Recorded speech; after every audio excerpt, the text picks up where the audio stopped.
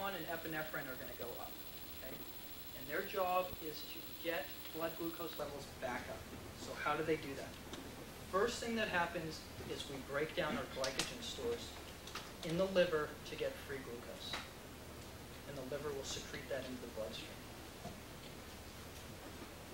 Okay? That's the first thing that happens.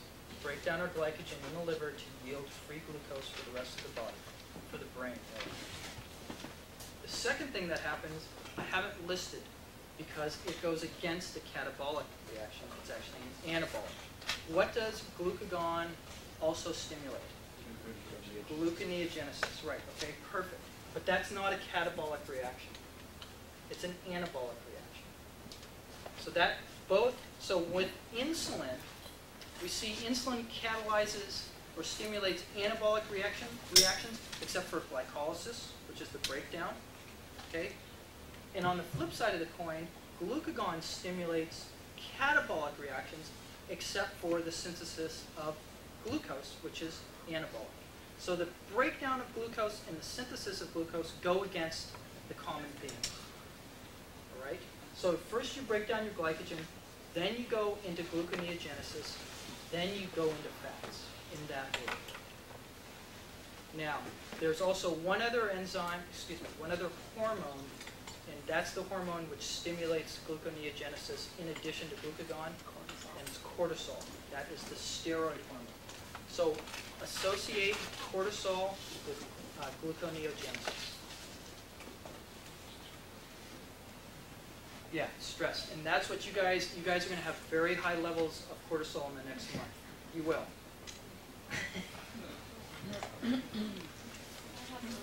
and what, well, what happens is when you're done, you'll hear this from John too. When you finish your boards, a lot of people get really sick. It's because their cortisol levels crash and then the body crashes. So we should be eating core level with Try not to get stressed out. Just take it in stride. How's that? I think that's a better approach. Oh, you can do that. Okay, so let's go over here.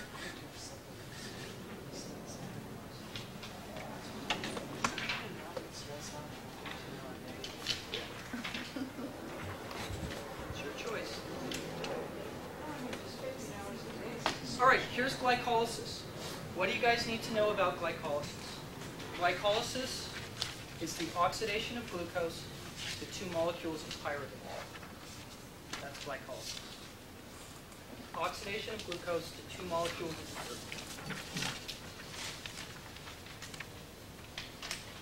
The energy yield in glycolysis is 2 ATP.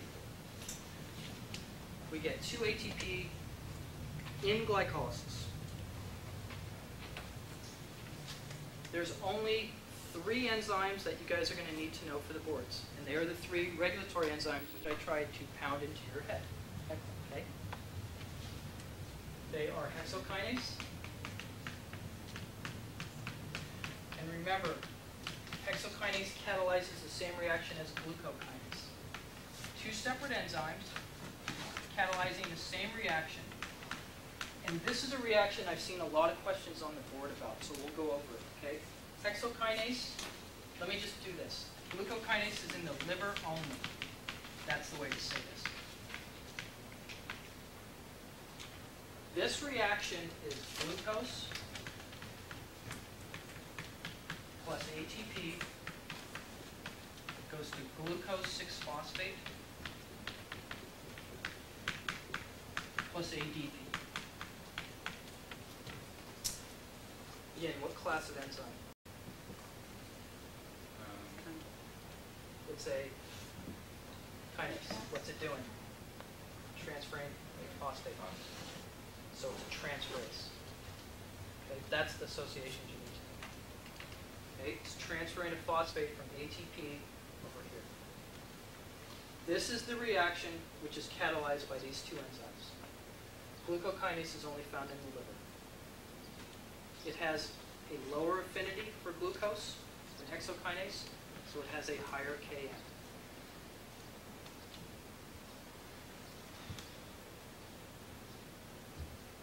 You'll, I, I've seen this a lot, this reaction. They ask which enzyme catalyzes it, what class of enzyme. Okay, what's important about this, by putting this phosphate on the glucose, what do we do? We, when you put a phosphate on any molecule, when it comes inside the cell, it does something to it. Trap it. Traps it, traps it inside the cell. Okay, so that ensures that whatever glucose we're bringing in is not going anywhere. Now it's, a- it's only going, it's going to stay in the cell and we can metabolize it. So that's the first regulatory enzyme. The second one is the rate limiting one, and this is the most important. And This is PFK.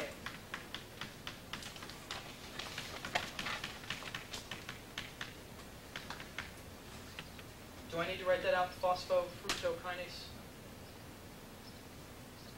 Yes? Do they use symbols like PFK or do they use full name?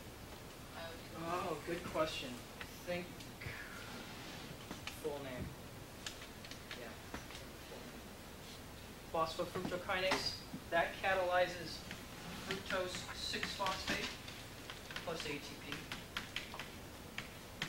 Fructose 1,6 bisphosphate plus ADP. Okay, what class of enzyme? Transferase. It's a kinase. utilizes ATP. These are the two enzymes which utilize ATP in glycolysis. Where do we get our net ATP back? That's at the third regulatory enzyme, and that's pyruvate kinase.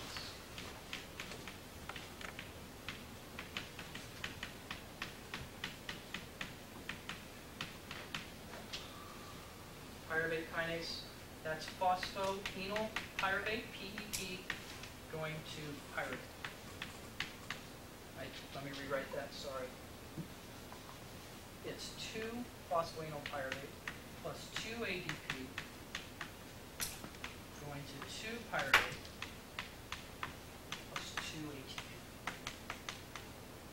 That's where we get our net gain of ATP there. That's where we get our net gain of ATP.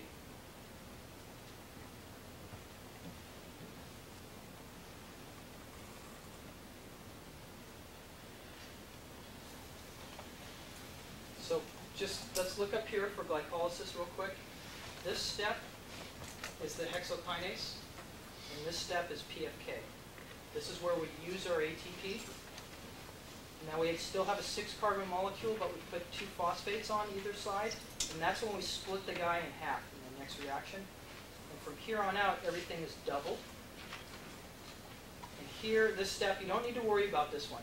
This is just where we get our ATP back, which we used up here. And this last step, the formation of pyruvate by pyruvate kinase, that's where we get our net gain of ATP. That's it. That's glycolysis. That's what you need to know in glycolysis.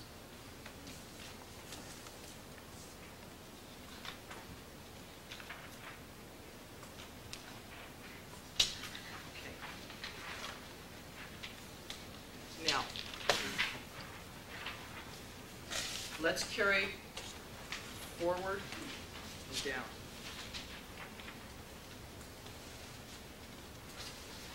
When oxygen is present, so this is a key point, when oxygen is present, the pyruvate will go down into the Krebs cycle. So under aerobic conditions. Because remember, we have the, the Cori cycle under anaerobic conditions, which we'll talk about in just a minute. Let's just go straight down in the Krebs cycle. The first enzyme, so the pyruvate, oh, where does glycolysis occur? They ask these questions. Glycolysis, where's glycolysis occur? Cytosol. Cytosol. Or cytoplasm. Those are questions you'll get. The pyruvate goes into the mitochondria, and then we start a whole new series of reactions. The first reaction is pyruvate going to acetyl-CoA. That's the pyruvate dehydrogenase reaction. Pyruvate to acetyl-CoA, pyruvate dehydrogenase, that's a regulatory enzyme, so that's an important one that you should know. Pyruvate to acetyl-CoA. It's a dehydrogenase, so which class of enzyme in?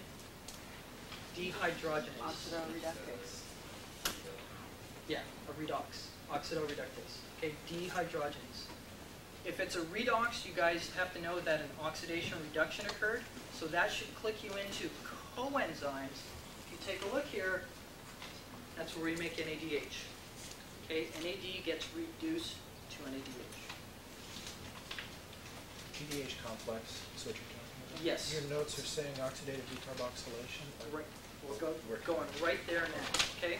There's another thing that happens in this complex, in this reaction, is that CO2 is lost. So pyruvate has three carbons, acetyl-CoA only has two carbons. So we're taking one of the carbons off. And remember, this reaction is occurring twice, because we have two pyruvates. So this is what's referred to as oxidative decarboxylation. It's, it's a little complicated. Oxidative because we're doing an oxidation reduction to make NADH. Decarboxylation because we're losing CO2. So what's the other coenzyme which is involved? Thiamine. Perfect. Thiamine.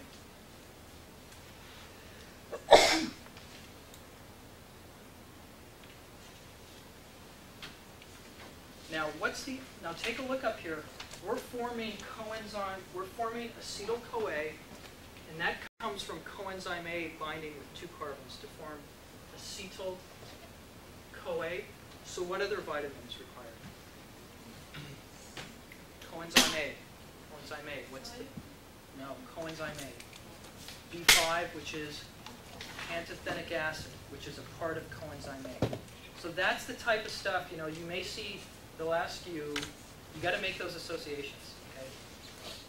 And you may get a reaction, and they'll say which vitamins are involved. But you know what? It's much easier than that. They'll have coenzyme A and say, what's the vitamin for it? And you'll go, pantothenic acid, B5. But I'm just trying to bring this up so you see them in these reactions. Okay. Acetyl-CoA enters the Krebs cycle. And I'm going to give you a quick overview. I'm going to tell you you need to know every reaction of the Krebs cycle. There's eight of them. So that's one thing. There are eight reactions in the Krebs cycle. There are three NADH, two FA, excuse me, three NADH, one FADH2, and one GTP made per term of the parasite.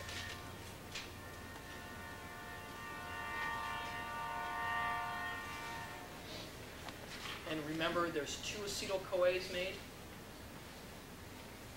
So you go through the cycle twice per molecule of glucose.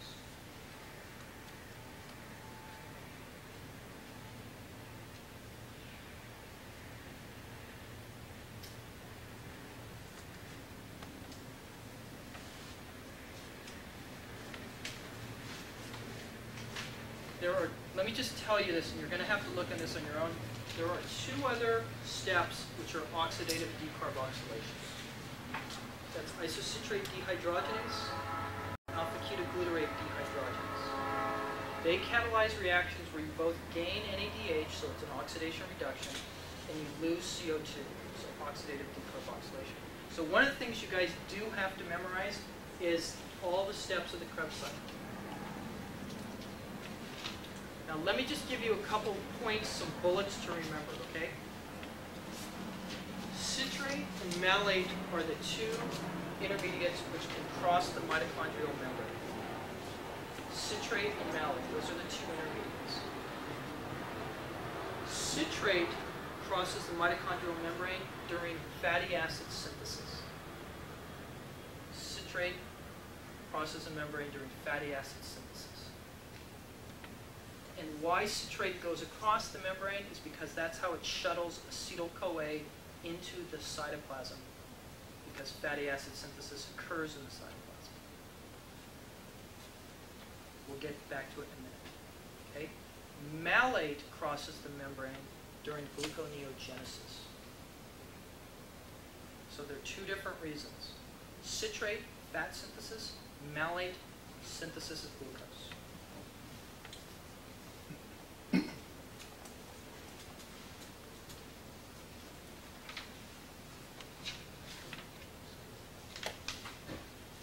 What's, what's it shuttling? Which one? Citrate? Citrate is acetyl-CoA. All right, in the Krebs cycle, so that's, that was really quick on the Krebs cycle. You guys just have to know it, okay? It's not worth me going through it. The main thing that happens in the Krebs cycle is we make a lot of NADH and a lot of FADH2. Okay, those are reduced coenzymes, and those go to the electron transport chain, which is briefly shown right here. So what happens here, just big picture stuff, is NADH and FADH2 simply drop off their electrons because they're reduced. They drop off their electrons the electron transport chain. Huge point, what's the ultimate acceptor of electrons? Oxygen. Oxygen.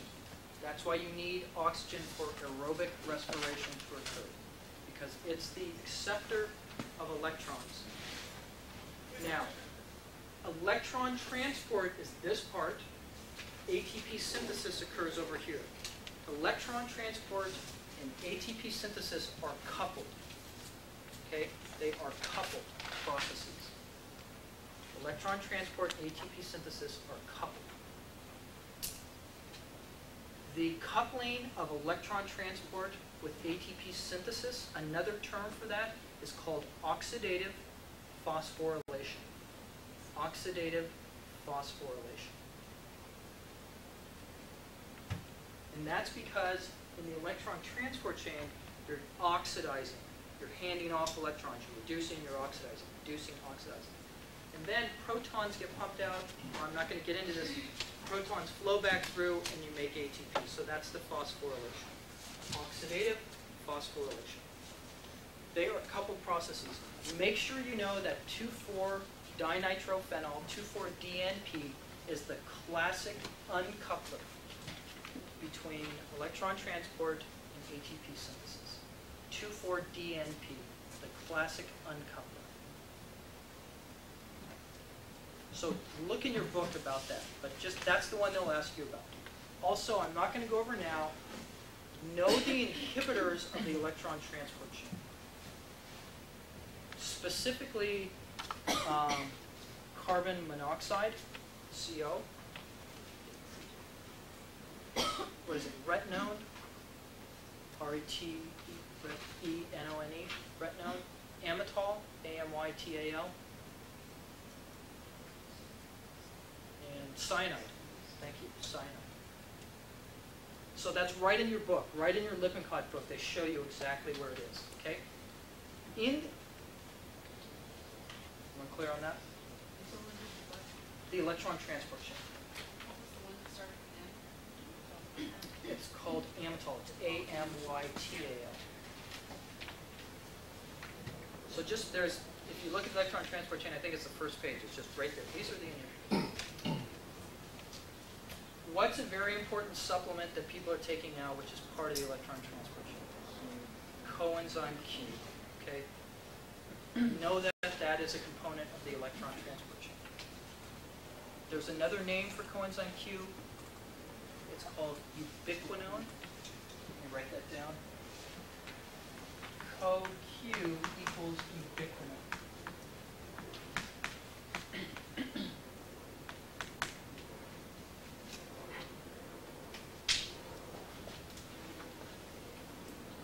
And just a component.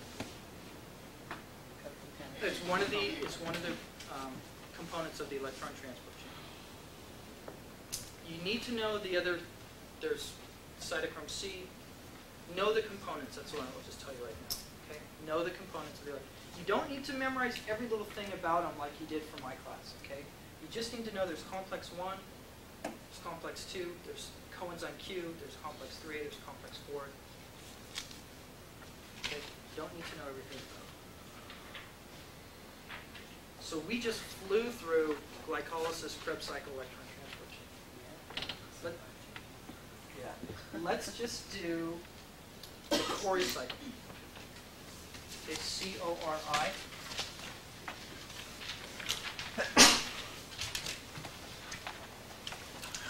The Cori cycle occurs under anaerobic conditions.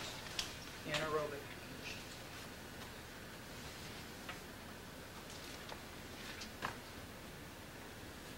That's where pyruvate, well, it should put here.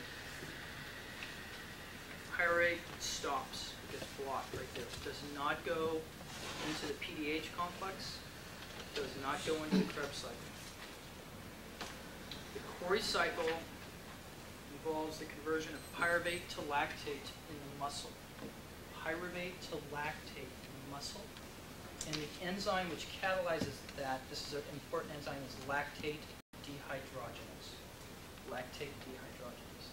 So that is pyruvate to lactate in the muscle. The lactate travels to the liver.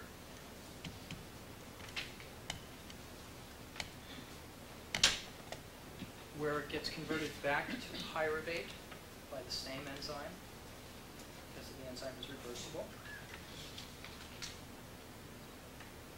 And then the pyruvate undergoes gluconeogenesis and is converted to glucose. And then the glucose gets shipped back to the muscle. That's the Cori cycle.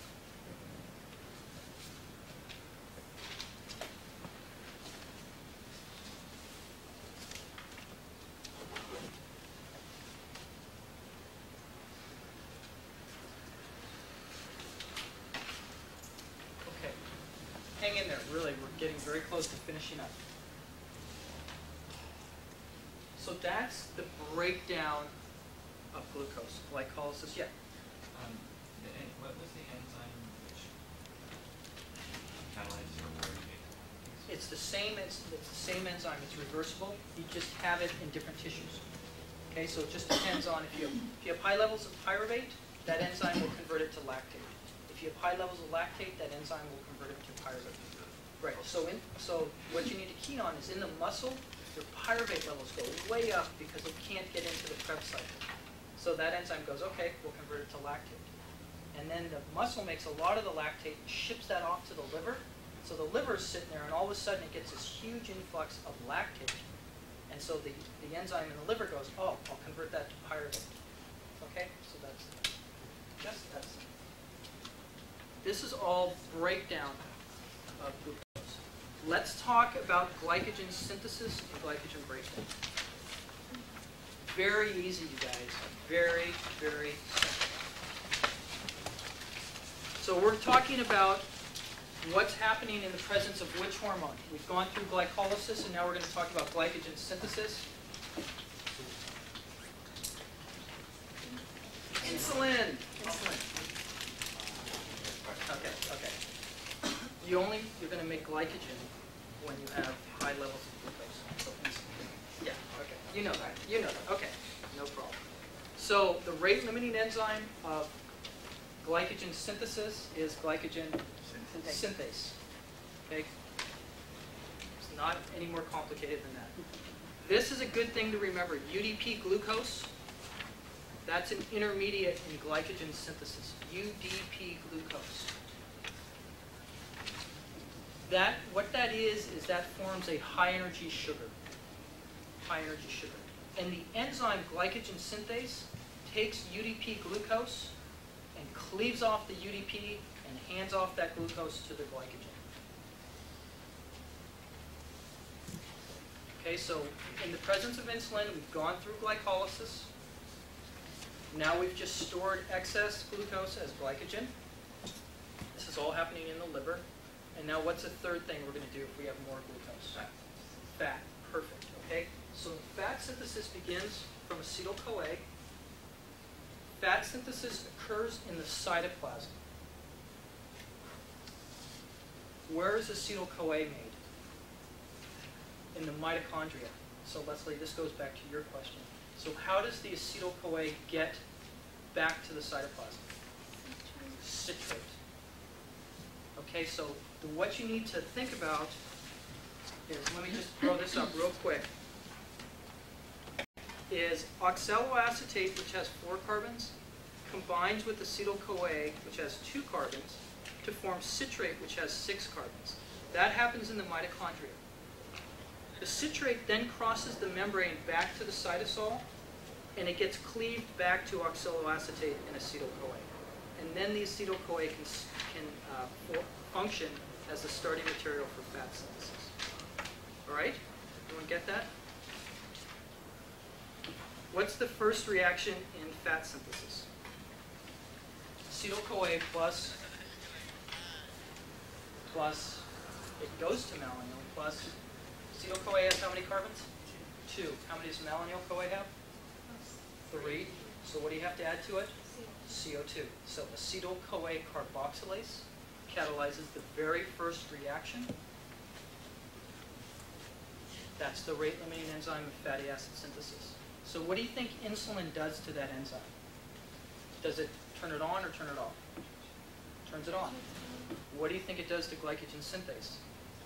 Turns it on. What do you think it does to the glycolytic enzyme? Enzymes, turns them on. Okay? That's what insulin does. It turns because those are the pathways which insulin stimulates. Okay, now, so just stay with me. So now we start making a fatty acid. And what's the fatty acid we make? Palmitic acid, 16 carbons. There's a common, God, this was a nightmare slide for you guys on overhead. The process of making fats, it's just a cycle, one after another. You keep adding carbons two at a time. There's a series of reactions which occurs. Okay. In fatty acid synthesis, it's reduction, dehydration, reduction. I've seen this question asked several times. There's a series of reactions that you have to do to the acetyl-CoA to make a saturated fatty acid.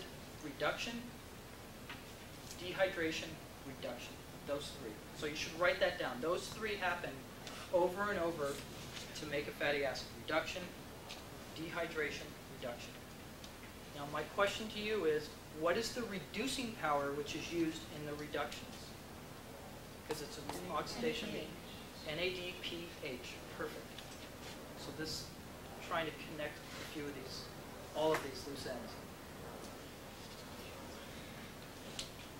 So NADPH is the reducing power in fatty acid synthesis. That's how it'll be stated in the test. Once you make a fatty acid, what happens to it? We're in the presence of insulin. We're going to do what? What's the liver going to do with that fatty acid? So it's going to make a triglyceride. Perfect. What's the triglyceride going to get packaged in? No, just hold on. VLDL. The VLDL is made in the liver. So we're not talking about dietary fat. We're talking about liver. What's going to happen to the VLDL? It's going to go into the bloodstream and go to the adipose if we want, if we want to store it, or it'll go to the muscle if the muscle needs energy in the form of fats. Okay, you guys get that connection? So if you keep that in your head, let me just run through it again. High, we just eat uh, a bunch of pasta. High carbohydrates. Insulin goes into the bloodstream. Insulin stimulates the uptake of uh, all the sugar the body will go through glycolysis, Krebs cycle, electron transport chain to get all its energy. Once the energy needs are met, if there's extra glucose, insulin will turn on the enzyme to make glycogen and will store our glucose as glycogen. Once those stores get filled, we'll take the extra glucose, we'll convert it to fats, we'll package the fats as triglycerides, we'll ship those off in VLDL. If you guys, I mean, that's a third of metabolism right there. Okay? Is that, is that clear? Great. Now, let's go over to the hexose monophosphate shunt because this ties in, right? This ties in perfectly. The hexose monophosphate shunt, aka the pentose phosphate pathway,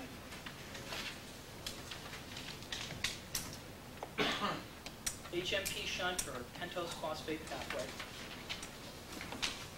this only occurs for two reasons, and this is all you have to know about it. It's used to make NADPH and ribose 5-phosphate. The ribose 5-phosphate is used to make nucleic acids because it's ribose. So just reiterate, pentose phosphate sh- shunt or the HMP shunt You make NADPH and ribose 5-phosphate. What is the NADPH used for? Fatty acid synthesis, perfect. And for making nucleic acids, and for making cholesterol. It's the reducing power used in anabolic reactions. So do you think the HMP shunt's going to be turned on in the presence of insulin? You betcha. Great. You guys got everything associated with insulin. Glucagon. Now, okay, so we've eaten, we pass out, we sleep, okay, or you go to class, whatever. You pass out hours, you sit in class for hours, and all of a sudden your blood glucose levels hit rock bottom. Glucagon gets secreted. What happens when glucagon is secreted? Glucagon slash epinephrine slash cortisol. Okay, because all three of those are involved in what's going to happen.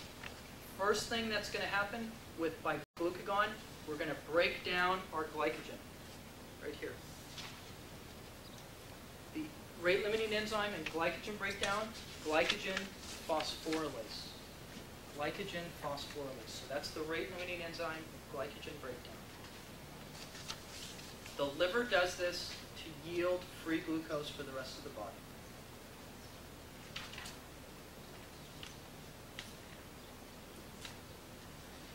Okay? Then, once those stores run out, which they do pretty quick, we'll start doing gluconeogenesis, in the liver will. And that is stimulated by both glucagon and cortisol.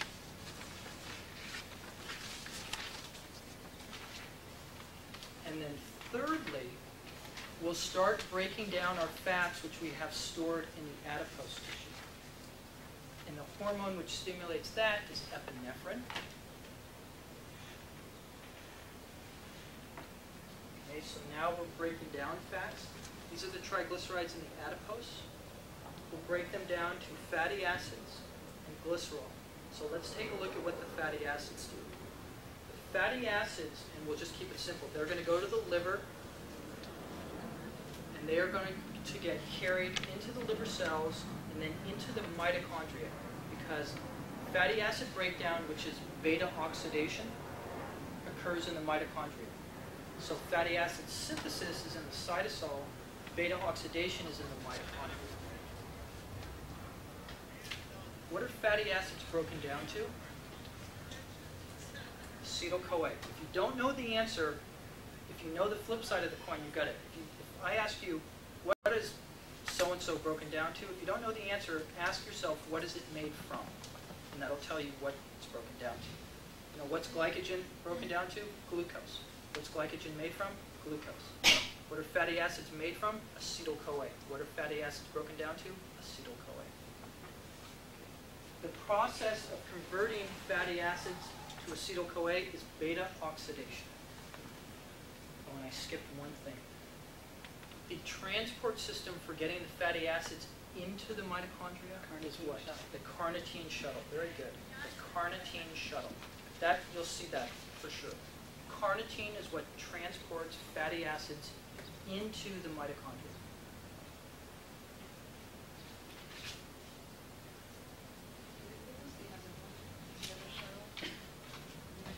Shuttle. That has to do with protein metabolism because then we're talking about nitrogen. Okay.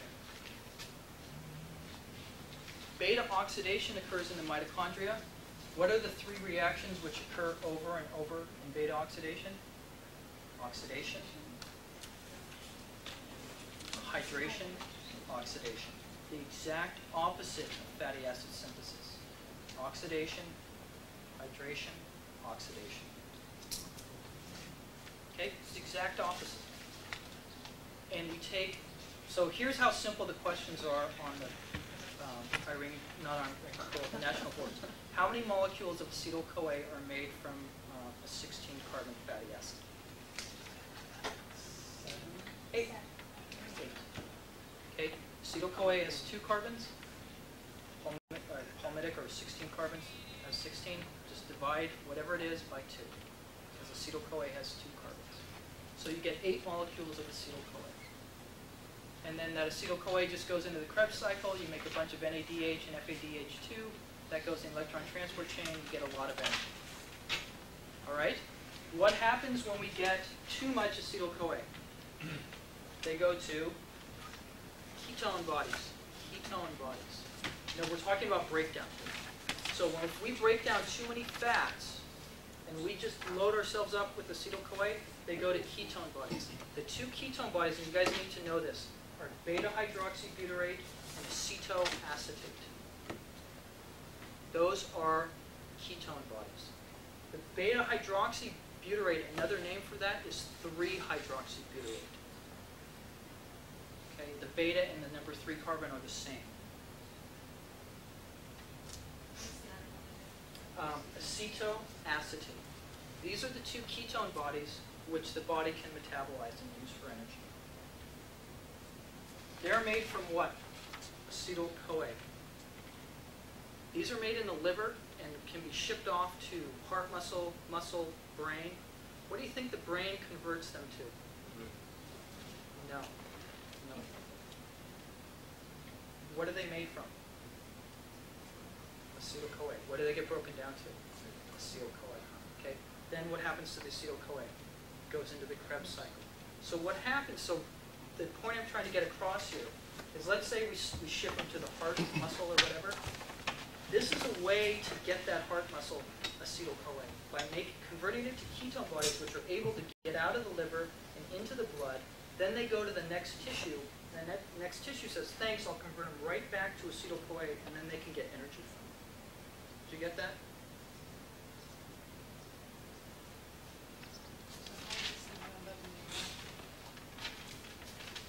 You're either talking about, um, oh, ketoacidosis or excess ketone bodies you get mostly in diabetics. Right, exactly. Right. So there's an overproduction. So not- just can't handle it. Right. You don't, yeah, you just get too many, That's a very simplistic answer, but that's the bottom line, okay? All right, we're almost done, guys. We're Very close. Whew. The urea cycle. Do the urea cycle.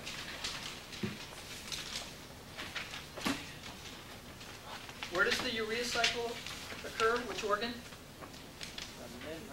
The liver, Liver. What's it used for?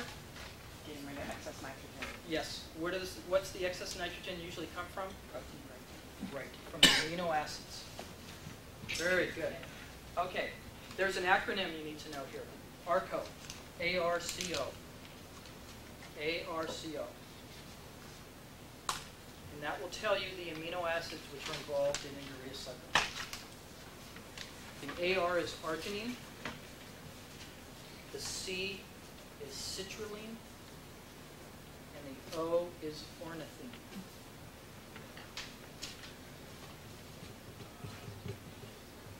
And this is how the body deals with excess nitrogen or ammonia, however you want to say it. And this occurs in the liver. Arginine. Now, both ornithine and citrulline, those are considered amino acids. They are amino acids. We just don't incorporate those into proteins. So the only time you see them is in this urea cycle. Okay? Those are just two amino acids which are not incorporated into proteins. They are not.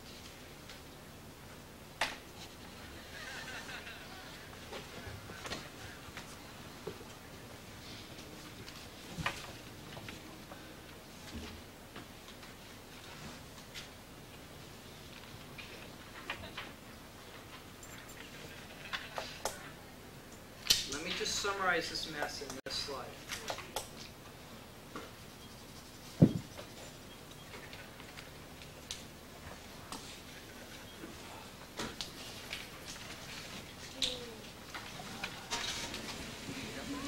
Oh, there's, okay, there's a couple things, I knew I was forgetting something. Remember in glycolysis when I said you get two ATP? And then we talked about getting ATP in the electron transport chain. Those occur by different mechanisms. In the electron transport chain, it's called oxidative phosphorylation. Whenever you make ATP right on the spot, that's substrate level phosphorylation. Those are two distinct ways to make ATP. When- Oxidative phosphorylation. Oxidative phosphorylation is the electron transport chain. Substrate level phosphorylation is when the enzyme makes the ATP right there. And, Does that occur in the cycle? One time it does, yes, where you make GTP, that's also an example of substrate level phosphorylation. Hang in there for one second. Here is the ultimate review. Um, Follow the arrows and let's just see what happens in the presence of insulin or glucagon. In the presence of insulin, we bring in glucose. We'll go down here through glycolysis to acetyl-CoA, the Krebs cycle. We'll get plenty of energy. Okay? If we have an excess of glucose, which is likely to occur, we'll also take that up to glycogen. If we have even more glucose, we'll take the acetyl-CoA, we'll make fatty acids, and convert them to triglycerides.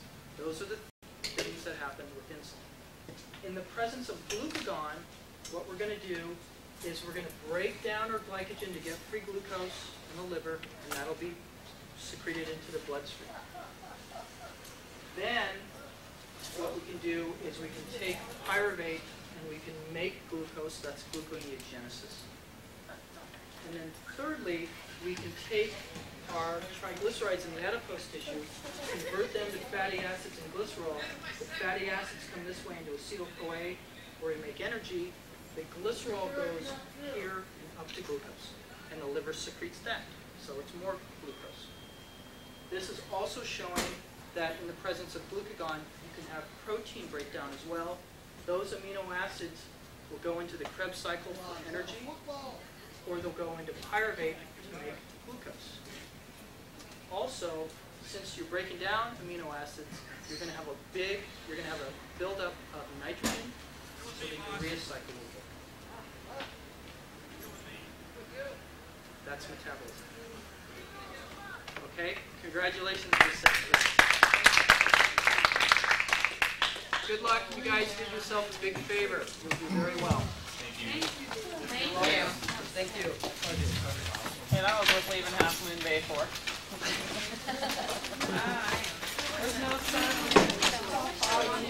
Right now?